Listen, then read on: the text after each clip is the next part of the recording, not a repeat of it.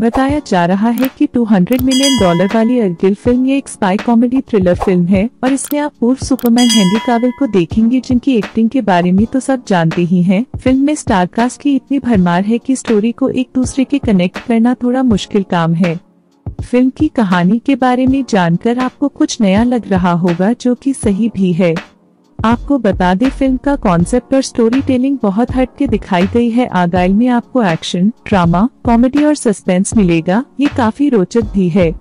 इसके अलावा दूसरा प्लस पॉइंट फ़िल्म की स्टार कास्ट है। फ़िल्म में कई बड़े सितारे हैं, जिनकी फ़ैन फॉलोइंग दुनिया भर में काफ़ी है। इसलिए फ़िल्म को थोड़ा फ़ायदा मिल सकता है। इस फ़िल्म को डायरेक्ट और प्रोड्यूस किया है मैथ्यू वॉन जो इससे पहले हॉलीवुड में स्टारडस्ट किकास और एक्समैन जैसी कई फ़िल्में बना चुके हैं। इन्हीं सब के चलते सभी को फ़िल्म से काफ़ी उम्मीदें हैं। इसकी कहानी को लेकर बात करें तो फ़िल्म देखते हुए आपको काफ़ी कुछ समझ आ रहा होता है, लेकिन तभी आपको एकदम से पता चले कि ये सब काल्पनिक था तो कैसा लगेगा। कहानी नई ज़रूर है, लेकिन काफ़ी लोगों को हजम नहीं हो पाएगी। इसके अलावा दूसरा है, इसका रन टाइम फ़िल्म 139 मिनट की है, जो कई जगह आपको बोर करेगी। फ़िल्म में कुछ ज़बरदस्त एक्शन सीक्वेंस ज़रूर है, लेकिन नया कुछ नहीं है। फ़िल्म में ऐसा कुछ नहीं दिखा कि सब कुछ ज़बरदस्त हो। कई जगह सीन्स काफ़ी लंबे रखे गए हैं, जिनकी ज़रूरत ही नहीं थी। साथ ही स्टारकास्ट की परफॉर्मेंस काफ़ी अच्छी है, लेकिन फ़िल्म के लीड हीरो हेनरी के हेयर स्टाइल को लेकर भी बात करनी ज़रूर है, जो कि फ़िल्म में काफ़ी लोगों को अच्छा नहीं लगेगा। अगर आप हेनरी को डीसी कॉमिक्स के सुपरमैन वाले एक्शन की तरह देखना चाहते हैं तो ये फ़िल्म आपको पूरी तरह निराश कर सकती है। लेकिन अगर आपके पास समय है और देखने के लिए कुछ नहीं है तो आप इसे देखिए।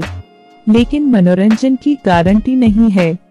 हेनरी के प्रशंसक देश विदेश सभी जगह पर हम बात करें इंडिया में इंग्लिश मूवी के क्रेज की तो ये काफ़ी बढ़ गया है। जिस तरह से इंग्लिश वेब सीरीज़ इंडिया में काफ़ी हद तक देखी जाने लगी है, उसकी तरह थिएटर में इंग्लिश फ़िल्म का क्रेज भी इंडिया में कम नहीं है। फ़िल्म के फ़र्स्ट हाफ़ में तो आपको यही लगेगा जैसा की आप कोई सुपर नेचुरल और काल्पनिक फ़िल्म देख रहे हैं। इस फ़िल्म में लेखक के काल्पनिक किरदारों को वास्तविक जीवन ऐसी जोड़ा गया है, जो काबिल तारीफ़ है। फ़िल्म के एक्शन सीक्वेंस और एडिटिंग भी अच्छी है। सेकेंड हाफ़ की बात करें तो काफ़ी बदलाव देखने को मिलेंगे मिलेंगे साथ ही ट्विस्ट और टर्न भी मिलने वाले हैं, पर बात करें क्लाइमैक्स की। क्लाइमैक्स में काफ़ी बचकानापन दिखाया गया है। ये दृश्य इतना अप्राकृतिक है कि आप सोच रहेंगे, ये कैसे हुआ? ये कैसे हुआ? तो वो थोड़ा अजीब लग रहा था।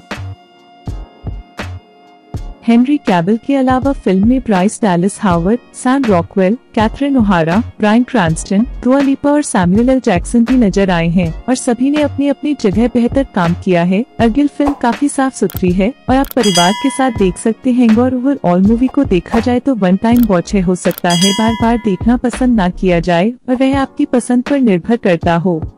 फ़िल्म के एक्शन सीन और कॉमेडी को बहुत पसंद किया जा सकता है और अर्गिल फ़िल्म को ओके ओके कह सकते हैं। अगर हम अर्गिल की रेटिंग देंगे तो फाइव स्टार में टू स्टार देंगे। बाकी आप भी जाइए और इस फ़िल्म का आनंद लीजिए। हमारे वीडियो को लाइक और शेयर करें, हमारे चैनल को सब्सक्राइब करें, हमारे अन्य वीडियो भी देखिए। चैनल से जुड़ने के लिए धन्यवाद।